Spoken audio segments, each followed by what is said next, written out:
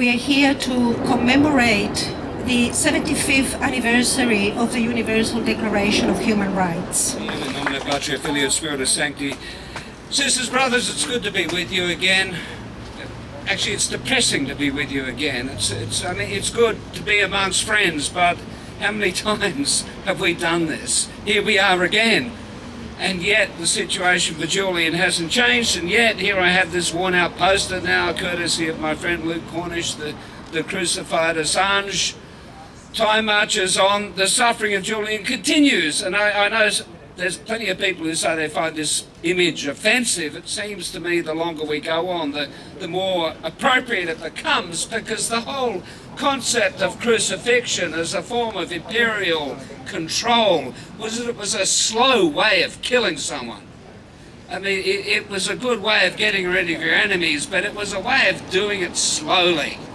I mean, people would die over days and even over weeks um, I often think of the image on the Via Appia. It was 200 kilometres long, 73 BC, that the revolt of Spartacus, the great slave revolt, was put down. 6,000 slaves, men I assume, 6,000 men crucified across the Via Appia. I did the maths. That means every 75 metres you'd see a, a tortured soul on either side of the road. Uh, it's the same length as from Sydney to Goulburn. It's a, that's a trip I take quite regularly.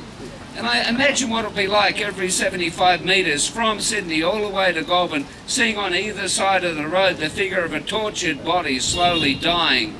I mean, some would be dead, some would be in agony, still dying, some would be being visited by birds of prey, others would be being humiliated by passers-by you'd get the message, wouldn't you?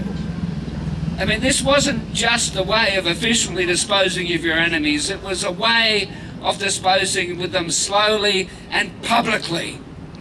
And it, this is why the cross, before it was ever a symbol of faith, was a symbol of imperial control.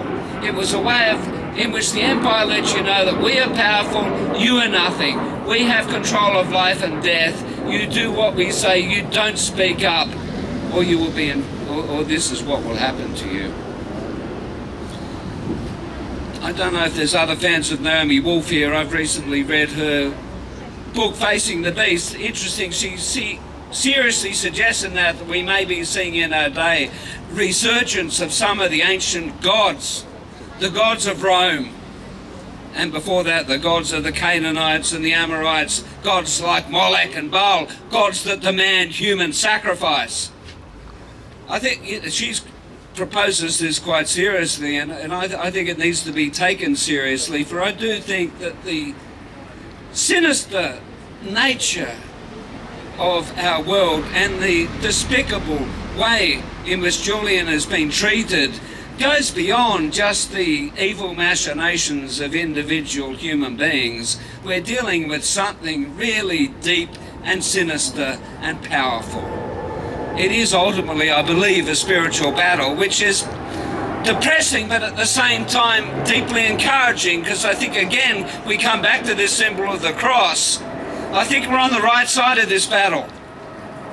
Ultimately, I do believe that these forces of, frankly, just forces of wickedness that are silencing free speech and that are crucifying the messenger will have to ultimately be defeated. That the very fact the symbol of imperial power became a symbol of faith is a reminder that ultimately there are some people who cannot be crucified. There are some voices that cannot be silenced. Julian, I believe, will come back. And next time we meet, I trust, next time we're all together, I trust it won't be for yet another protest but we will meet to celebrate the resurrection of our brother, and we will do it with great joy. God bless you. Well, th thanks everyone for coming out today. I want to start by acknowledging this is First Nations and Gadigal and pay our collective respects to elders past, present and emerging. Uh, always was and always will be. Well, I've got to tell you, um, Albanese's feeling the heat today, isn't he? Uh, and uh, and so he bloody should be. Because actually the movement to free Julian Assange and bring him home is growing and growing around the world. And and if you if you'd asked me two years ago where were we, I would have said, well, we need to rebuild the movement. We need a, a global movement to support Julian, a truth teller who should not be in jail in a high security prison in the UK with one of Australia's allies, facing extradition to high security permanent jail with another one of Australia's allies in the United States. What, what country allows two of its closest allies to treat one of its own citizens, a citizen journalist like that? Well, only a country that's willing to roll over and have its belly tickled um, when its masters in Washington or London do so. And if Prime Minister Albanese is to be a genuine Prime Minister for Australia, that means standing up to the United States. That means saying Australia will stand up for its citizens and will not permit a law of the United States to say wherever Australian citizens are anywhere on the planet that a United States law can reach and pluck them out of their homes if they dare tell the truth about United States war crimes. How could our Prime Minister not condemn that law and demand the return of Julian? How could he? Well, the only way is if you surrender sovereignty to the United States, like the Albanese government and before that the Morrison government was willing to do. Shame, shame right. on our government for doing that. Right. But I said that the movement is growing. And um, I was very lucky to be on a on a delegation crowdfunded by Assange supporters. So let me thank you all for that.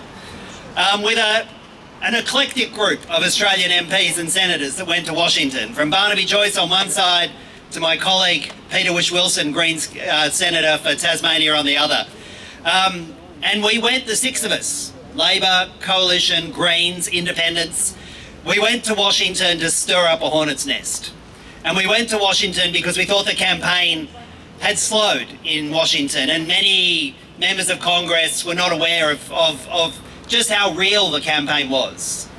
And I've got to tell you now that that is continuing to bear fruit. We've had joint letters signed by Democrats and Republicans from across the political spectrum demanding Julian Assange's release, demanding the end of charges. And just in the last few days, a fresh resolution has been tabled in Congress, again sponsored by members of Congress from across the political spectrum, um, demanding on the basis of the US First Amendment and free speech rights, demanding that the Biden administration end the prosecution and let Julian Assange come home. And we could all join with that, because that's our ultimate goal. So I'll finish with this, because on a day like this, short speeches are good speeches. I will continue to press the likes of Penny Wong to actually show some backbone and stop saying that this is all just a matter for the courts and she can't intervene. She's never said that in relation to freeing Australians from China. She's never said that in relation to freeing Australians from Iran. She's never said that about freeing Australians or other citizens from Russia. It's just that when it's one of the great and powerful allies of Australia, that this government just surrenders its will.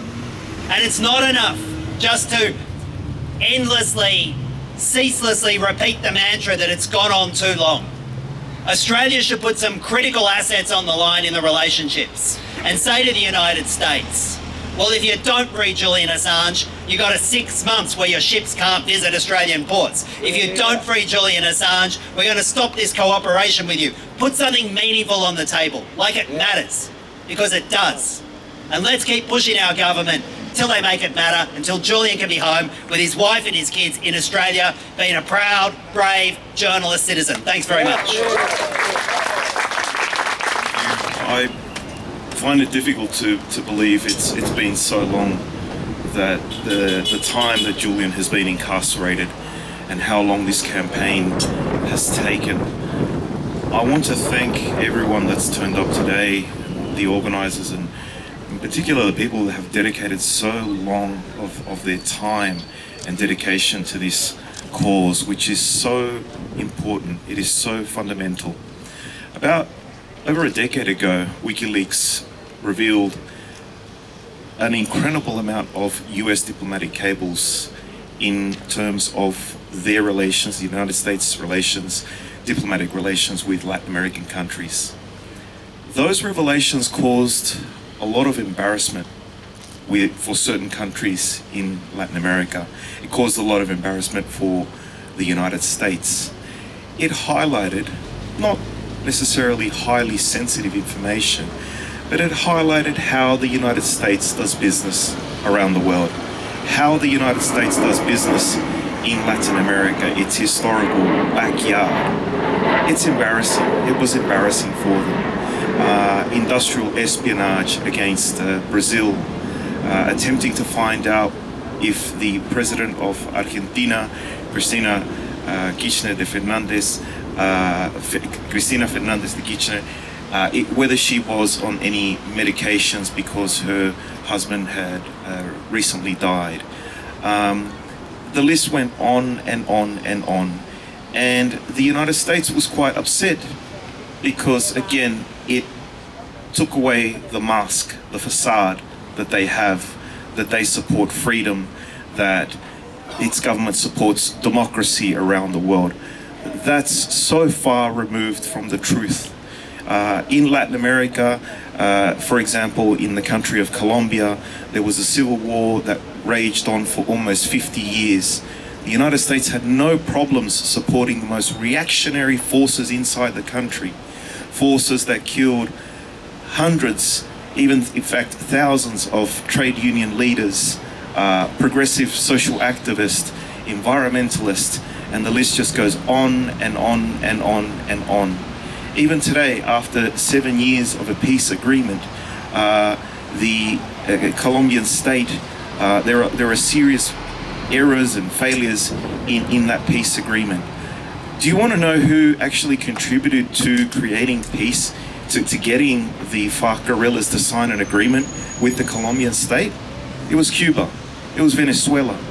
You know, the international boogeymen of Latin America, they actually managed to, uh, you know, contributed to sitting the guerrillas down and, and talking to them and saying, look, let's let's really let's try and find what points we can we can we have in common. You have in common with the Colombian state.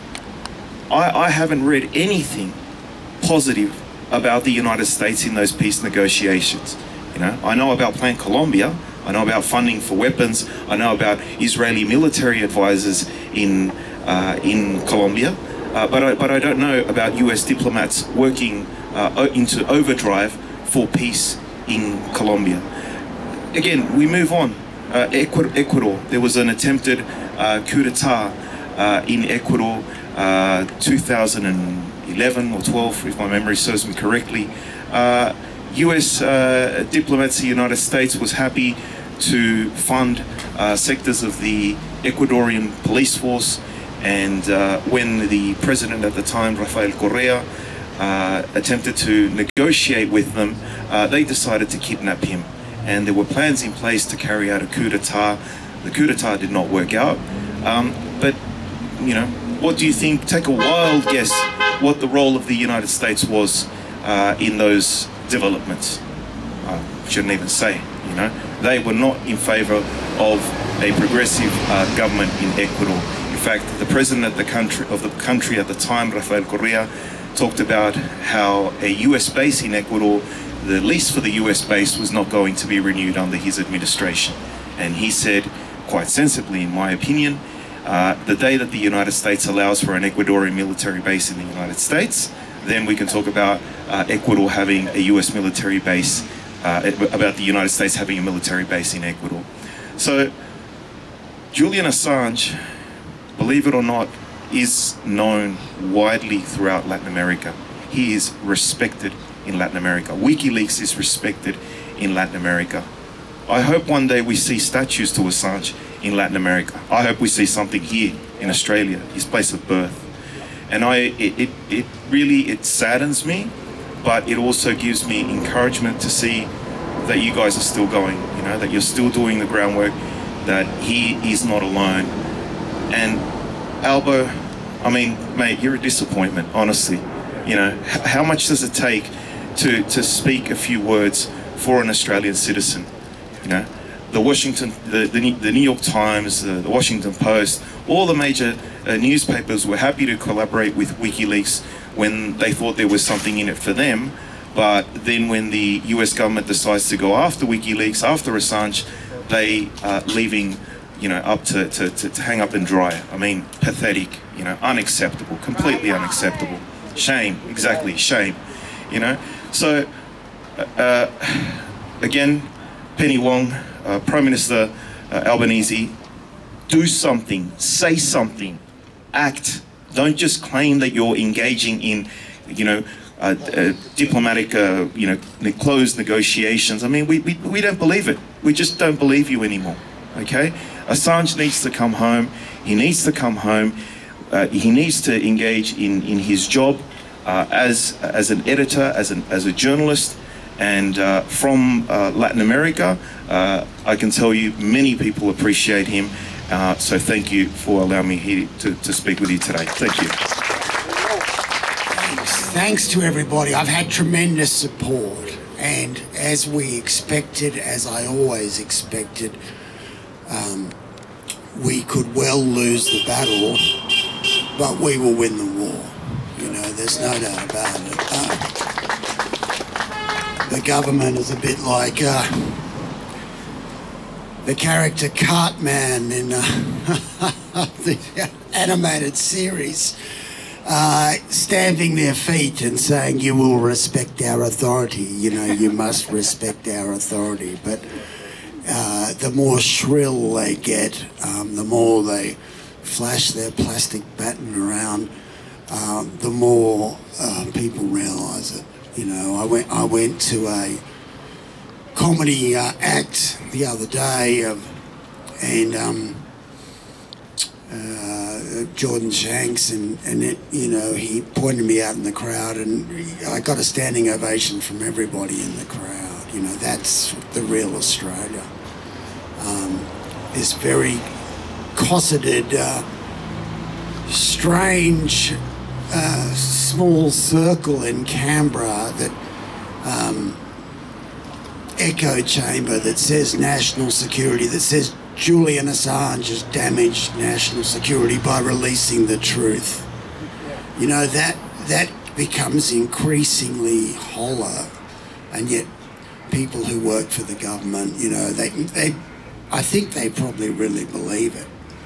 Mark Dreyfus released something, I think, today about how wonderful his reforms were and uh, transparency and uh, rule of law and anti-corruption. He's got no idea, um, but the people do. The people know what's really going on. And uh, as I've said before, and I can't, I can't obviously, I want to avoid specific details about today are about my case, but um, I always go back to the uh, historical um, details and about the men that uh, translated the Bible into English. Um, and they were murdered by the state. And the state that those people who, uh, who did that convinced themselves that these, uh, uh, the simple act of translating the Bible out of um, Latin into English was a state, uh, was a threat to national security. Um, you know, and only about 10 years after the Tyndale was murdered um, by the state and by Thomas More, of all people, behind it, you know, who, who obviously thought he was a bit like Dreyfus, thought he, he was knew the law. The Tyndale's English version um, became the standard Bible. Now it's uh, that's the world we live in. People convinced, Mike Pezzullos of the world, convinced that they uh, are actually uh, supporting the government, but don't realise that by becoming an effectively lawless society, a police state, where truth tellers are put in jail on the say so of people who have already sold our country out to another country. Um, that lie that national security is protected by keeping government crimes secret will only last so long. Uh, in my case, they never looked at the conduct In Julian's case, they never looked at the conduct exposed. That never came into it. The only thing that came into it was whether or not it was classified information, as if that overrides any criminal conduct. Now, clearly it doesn't. Clearly, in first year law, you know that. Uh, you know that. We will win this. We will absolutely win this. And uh, history has been made, the best history anyway, has been made by people like you that stand up in the face of apathy, stand up in the face of those who support uh, government just because it's in their own interest. If you do something because you're going to be promoted and going to be thanked for it, you're not acting in the national interest, you're acting in self-interest. You people, on the other hand, aren't here because you're going to get promoted. You're not here because you're going to get a pat on the back down in the boys' club of Canberra, girls' club. You're here. Um, you're in direct contrast to the people who ran the Robodebt scheme, uh, who lied and cheated and uh, in the name of their own self-advancement and they got caught out. And now we have a race to the bottom over the latest High Court judgment, which obviously said you can't hold people in jail indefinitely uh, unless they've been sentenced. It's a pretty obvious principle, but both sides of the government, both sides of, po- of politics can't do enough um, to uh, thwart the law. Uh, simply because they might they think there might be a few votes in it. Anyway, you know all that. And I just want to thank you. I've had tremendous amount of support. I don't feel like a criminal. Um, I will go to whatever fate uh, awaits me um, in, the uh, in March with my head held high and with a sense of dignity. Um, and I will use my own uh, appearance my own uh, character and sense of self um, to contrast against those who hide in the shadows, uh, speak out of the corner of their mouths, and put me uh, in jail and say I'm a criminal. Um, I can't do it without you. I could not. Um, there's only so much one person can do. Julian can't do it without you. Um, and uh, it's really all the same kind of case state power getting out of control. But the way we can beat it is to is to speak quietly uh, with dignity and repeat the same mantra. It can never be a crime to expose a crime. Uh, but it is something that uh, whatever happens to Julian, whatever happens to me in years to come, I can um, I can guarantee you, you'll all be very very proud for taking the stance uh, that you took today uh, and yesterday and last year and next year. Uh, you are the people that make um, will save the world, will save Australia. Uh, and while it's a thin red line at the moment, um, that's where the greatest battles have been won by. And uh, again, I just can't thank you enough. Without your support, I would really would be dead, and um, so would Julian probably. And uh, with your support, we can uh, we can really uh, change the world, and we'll certainly leave a legacy that we can be very very proud of. Yeah. let's go uh, together on a, a little journey, um, if you will. Tomorrow is the 75th anniversary of the Declaration of Human Rights. All genius arises from within the people of a nation. The Universal Declaration of Human Rights is the secular Bible, our Bible, all of us. It was fathered by Herbert Vere Evatt, an Australian. Take the opportunity to reverence those Australians that have contributed, that have arisen out of the people and displayed the genius of the people. Herbert Vere Evatt, John Pilger, Julian Assange, David McBride, Wilfred Burchett. They are ours. We created them from within us, within the culture of us. Forget that not, for it is ours. Grasp it to your heart, for it gives strength and understanding that this is what we have done and can do. As uh, David Shoebridge mentioned, Julian Assange can be freed with a phone call. The government can ring up their colleagues in the United Kingdom and say, you know, send him home. His uh, visa's expired. You've served the expiration date uh, notice on him. Anything that the United States wants, we can handle here. That is a clear possibility. It's not done. For 13 years, we witnessed acquiescence to whatever the United States and the United Kingdom wanted to do to Julian. 13 years of it. Acquiescence means complicity. You're in if you don't act. If you know and you don't act, then you're in. No other way. Can't escape. That's it. And that's how it was for these 13 years. We participated in the, to use Father Dave's word, hmm, in sending a man to Calvary. We participated. It's changed now. All of the people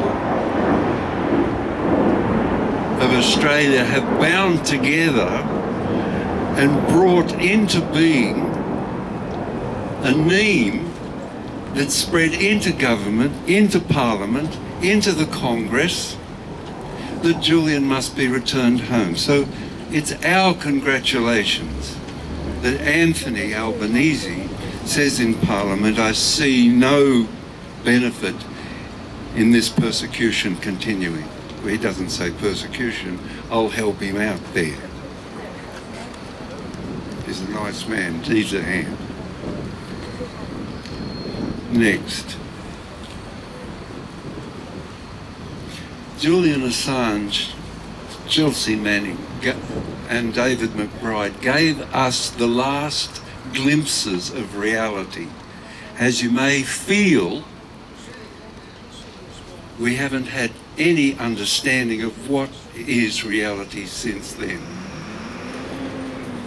Now we see, through the benefit of social media and our cameras and our relationship with each other, the catastrophe unfolding before our eyes in Gaza. 70 journalists have been killed in Gaza. 70. The other day, a dear man, I'll finish with this, if you're patient enough. Refaat Alareer was targeted, a journalist, was targeted in his sister's home. He was killed. His brother was killed. His sister was killed. The four children were killed. He wrote a poem, which I'll read to you. I've tried to memorize it, but forgive me. Just take a second to get there. It's worth it. This is if titled If I Must Die. It's not long, and it bears weight upon all of us, for we are the understanding and the power that will change these circumstances. Not them, us. For as we have changed Julian's circumstances, where he is just about on the cusp of being freed, us If I must die, you must live. To tell my story, to sell my things, to buy a piece of cloth and some strings, make it white with a long tail, so that a child somewhere in Gaza, while looking heaven in the eye, awaiting his dad who left in a blaze, and bid not one farewell, not even to his flesh, not even to himself. Seize the kite, my kite you made, flying up above, and thinks, for a moment an angel is there, bringing back love. Let it bring hope. Let it be my tale. Thank you. I first have the duty, because I've been asked to do it, to read out a statement from my journalists union, MEAA. And that's also Julian Assange's journalist union. He was granted an honorary lifetime membership from MEAA under the previous director. This statement is signed by its current president, Karen Percy.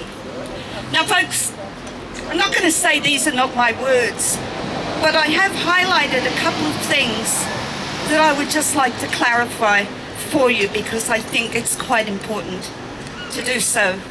So here it goes. The continued pursuit of Julian Assange is a direct threat to media freedom around the world.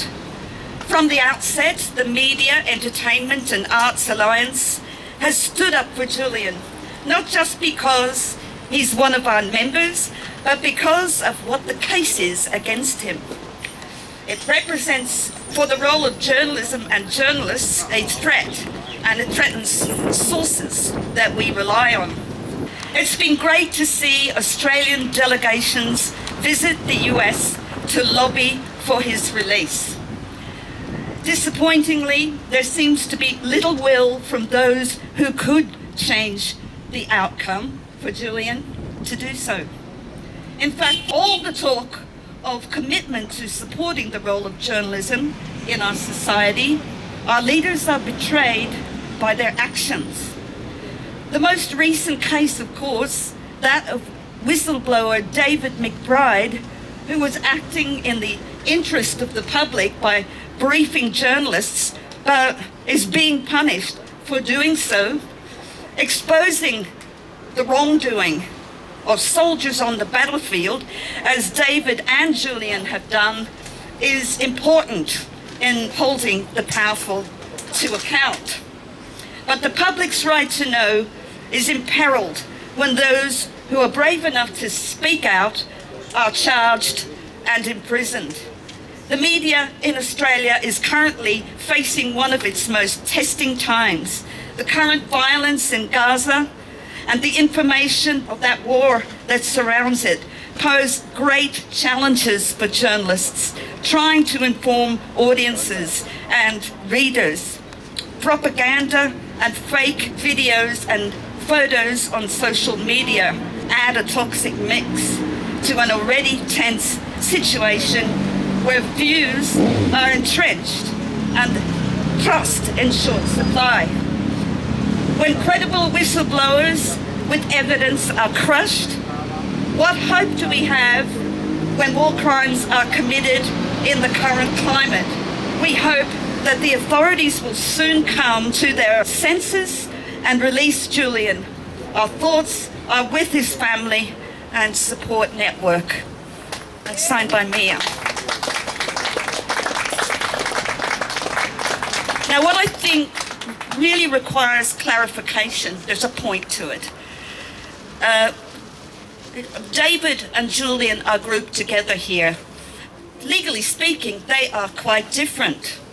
It would be more appropriate, you, you know that Julian is a journalist and David McBride a heroic whistleblower. They both deliver us information, but they're different from the outset. They have different challenges facing them. So Julian would be more appropriately compared to Dan Oakes from the ABC, whom the CDPP, right, Commonwealth Direction of Public Prosecutions, gave a public interest reason to the AFP not to prosecute Dan. And the AFP followed that advice. Now, why is there no consistency between Dan Oakes and Julian Assange? And why is there no public interest for David McBride when the person who actually passed it on to us, he, he's doing that in the public interest? It's inconsistent. So I think it's important that we understand the difference and we push to expand that definition of public interest and how it is applied to the people who bring us truthful information. The second point that I would kind of draw exception to is this focus on social media as source of toxicity. I think the most dangerous, toxic, harmful, and widely disseminated lies are the official lies. And we have lots of information I brought my visual aid. Anyone recognize the van? Where does that van come from? Who recognizes the van? It's from the collateral murder video. Well, just up above, and I'm just going to lay these out. I don't have time to go through them all, but you can do that because they're all self-explanatory. This was the official story originally that was given to Reuters by the military. The generals didn't show Dean Yates, the van part, because there, there was a, an obvious war crime. He didn't see that and he was led to believe it was his cameraman's fault why he got shot. So we had WikiLeaks to actually bring us the truth and we had the whistleblower, Chelsea Manning. You know, in more modern times, we have terrible lies terrible lies that some people here today can relate to. Al Jazeera was accused of publishing a photo of a plastic doll, pretending that it was a baby, a dead baby. Well, they were exposed by this little known independent outlet. I've never heard of them before. They're called Boom. And folks, his name was Muhammad Hani al-Zahar. It was a real child. So these kinds of toxic lies, we have Mark Regev, Melbourne-born Mark Regev, advisor to Benjamin Netanyahu, telling us to take the figures about the dead, the numbers, with a grain of salt. I quote him there. But, you know who else we have? we have Iraq body count. And some of you might remember them because they requested of WikiLeaks that they use their data. What they did was prove, prove those people died by finding out their names, by getting their ID numbers. Their ID numbers to show the public their original names and then transliterations into English. So, and the actual number in the list of dead, and tragically, their age. So many less than a year old. And the proof in the end, in the analysis. After rigorous research and analysis from an unbiased party, John Sloboda testified in Julian Assange's extradition hearing. He was the founder of Iraq Body Count. He's not from Iraq. It's just a job that he does. He tries to bring justice. And David McBride said recently, give them a name. Find out what their names are so that people can have empathy. Because what's being done here, misleading us, that, that's to short circuit our empathy. So we don't finally say, this is enough. We're not going to take it anymore. But lots of people are.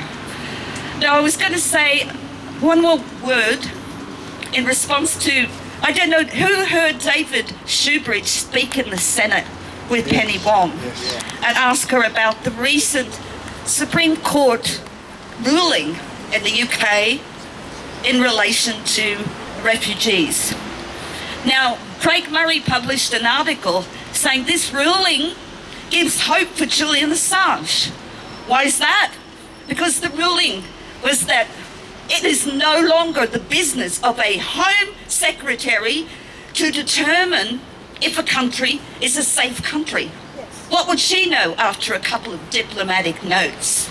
It has to be done in a court and by the Supreme Court with solid evidence. Track history, current situation now, and it has to be assessed by judges. So of course that applies to Julian's case because now, now really uh, David is asking, well, we should take a look at this because Priti Patel determined that it was a safe country, actually safe prisons that Julian Assange was being sent to, but the lower court judge didn't determine that.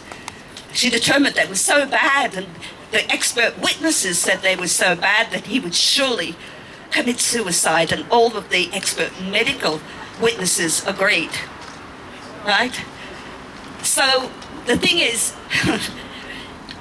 if it's not the job of the Home Secretary to determine the safety of a country, is it the job of a judge, no matter how high his rank is? And I'm talking about Lord Chief Justice Ian Burnett, who ignored the fact that Julian Assange had a stroke in court.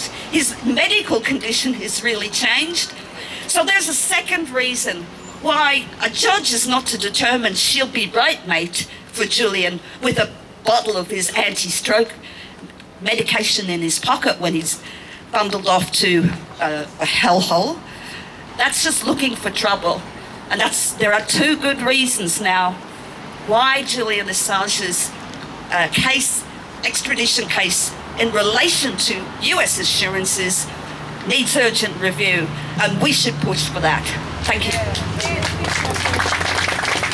It's kind of difficult for me to stand here in front of you today after so many eloquent and important people have gotten up to speak before me. And you may be asking, why is it that I should be getting up here to speak when there are so many other more important and relevant people who have given us such useful and first-hand information? My brothers and sisters, my name is Tom Toby. I am an Australian of Lebanese heritage. I travel to Iraq every single year and have done so since 2014 on a pilgrimage. And I ask myself, as a, an Australian Muslim man of Arab heritage, I ask myself, what would I know about what happened in Iraq during the war were it not for people like Julian Assange? Yes, right on. And I ask myself, to what extent would the Australian government have been complicit were it not for the people like Julian Assange? I ask myself, how many nameless, faceless children who would have disappeared into the ages, into the graves, mass graves, without their name ever known, were it not for people like Julian Assange. I have stood in my own pathetic way, really, for Julian since the very beginning. And I have cried tears for what that man has to go through, for what he continues to go through. And I cry tears of anger and rage when I think to myself how complicit the hypocrite in this office and the hypocrites like him here in Australia and the hypocrites like him all over the world. Hide their faces and give us their bullshit excuses as to why they cannot free an Australian citizen whose only crime was to tell the truth against this Western bullshit democracy that we want to hold on to so tightly. Hmm. And I think to myself, how much they scare us. And they say, well, you know, you should be thankful that you're not living in China. We should be thankful that we are not living in Russia. And I think, well, how much more different could it be? We're doing what they do. Maybe we're a little jealous of them that they do it a little more efficiently than we do. But stay on this path and we will end up there soon enough. I've heard it said to me before, you bloody wog, go back to your own country.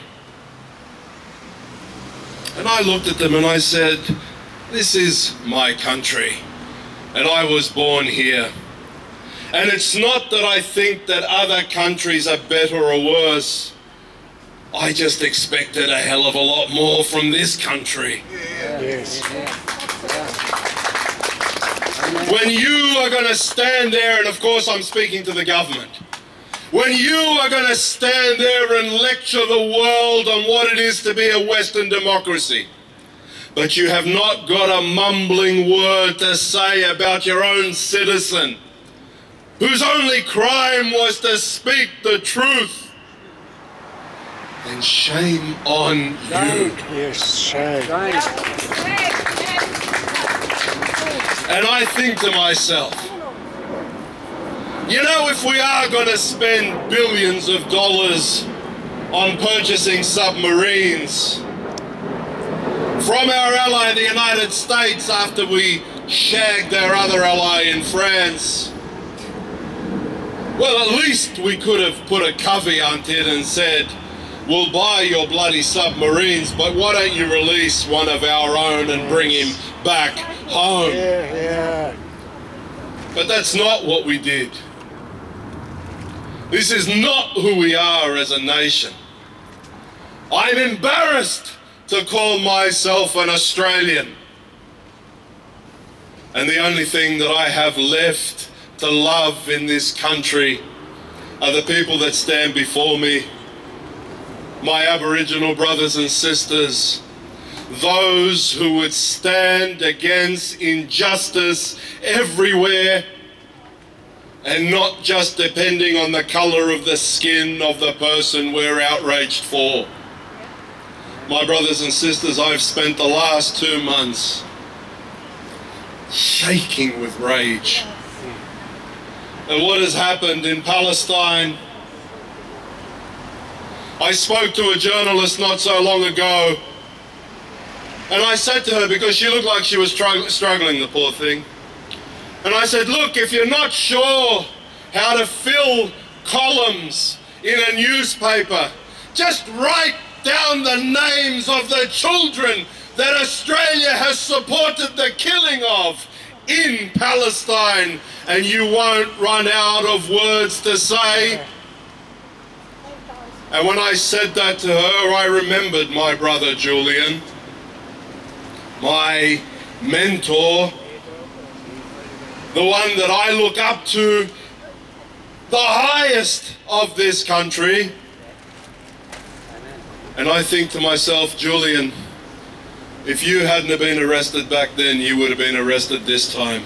Yeah. And if you hadn't have been arrested this time, there would have been something else for you to be arrested over because I know you would not give up the cause for your own safety and your own well-being. And I just wish that governments here and overseas, and I'm not going to talk about the Israeli government because well, when you have a man of the clergy here, Satan need not be mentioned.